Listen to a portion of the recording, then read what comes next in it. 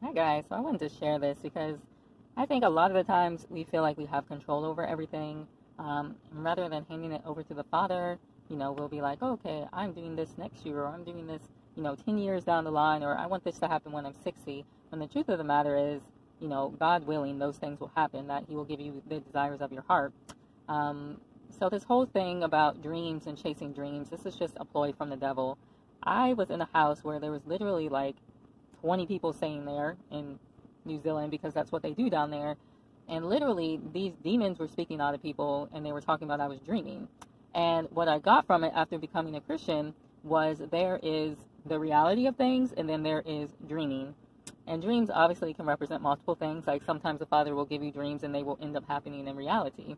But the dreaming that these demons were talking about was having all these built up ideals in your head of certain things and then you know, as they say, oh, chase your dreams, chase your dreams. That is the state that the enemy wants people in because a lot of the times people aren't going to attain their dreams or they're going to do whatever they can do to attain their dreams, even going to the point of hurting other people.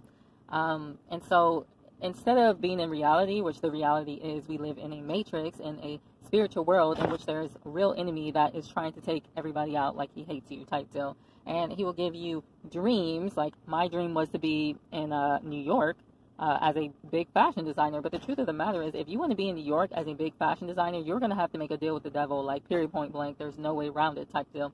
Unless the father's like, hey, do this for my kingdom. But the father doesn't even want us to worry about clothing all like that. So I really doubt he would ever do that. Um, he might have you in that industry for a bit of time just to be a witness. But, you know, to become like a huge fashion designer in New York, um, like Givenchy or whatever, Chanel, you're definitely going to have to make a deal with the devil. All those people are owned by the devil. They are there to keep women, especially in the mindset that appearance matters to that extent, in a, in a vain mindset. And so all they do is look at their appearance like a narcissist, and they look at other people's appearance like it's really degrading to themselves and as well to other people. And so, you know, the reality again of the situation is we're in a spiritual war. Time is very short, especially for the U.S.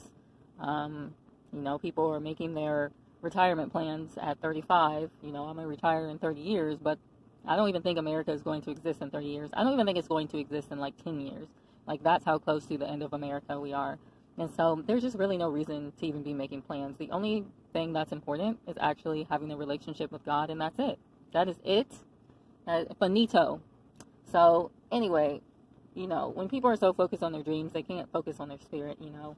And um, that's basically why the devil wants to keep you in that mindset because we are spiritual beings, and the only way that we even have life is through the Father Himself. He is spirit, and so His spirit fills us with the spirit so that we are, you know, humans with souls, animated beings.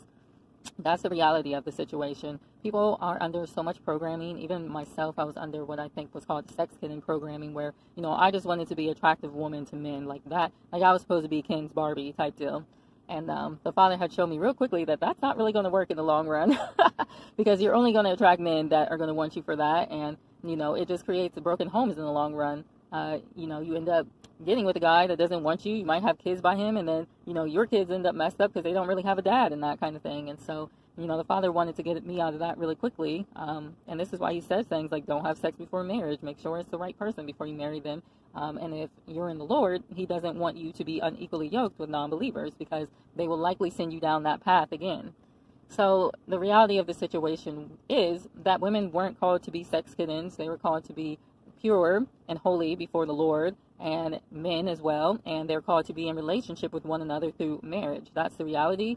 What the dream is, oh, I'm gonna go out and I'm gonna sleep with all these women and, you know, I have a threesome and you know, from the woman is, well, I want a guy that looks like Brad Pitt and, you know, maybe you find a guy that looks like Brad Pitt, but he acts like, and, um, you know, but you don't care because he's just attractive and you're like, well, maybe if I sleep with him and, you know, you end up with all sorts of problems after that. And, you know, there's some women that I've met, they're like, oh, well, I feel like God told me to sleep with this person because that's how I show my love. And I'm like, no, he didn't read the Bible, but you know, you never get anything out of it. So the reality is marriage, sex comes with marriage, children come with marriage, and that's how to have a strong foundation in this world. And if we end up following that example, you know, people won't have so many problems if they keep their eyes focused on the Most High. That's the reason why this world is so broken because everybody's going their way. Everyone has made themselves into God um, and are denying God.